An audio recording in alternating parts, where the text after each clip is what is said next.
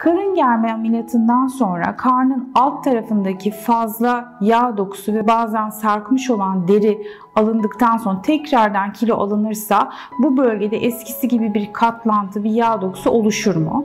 Bize en sık sorulan sorulardan bir tanesi bu. Karın germe ameliyatı e, için başvuran hastalar tarafından.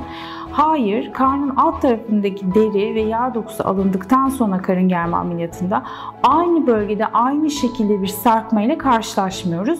Vücut daha genel olarak kilo oluyor. Yani belli ve göbeği evet yine şişebiliyor hastanın belli bir miktarın üzerinde kilo alınırsa ama aşağıdaki sarkıklık oluşmuyor.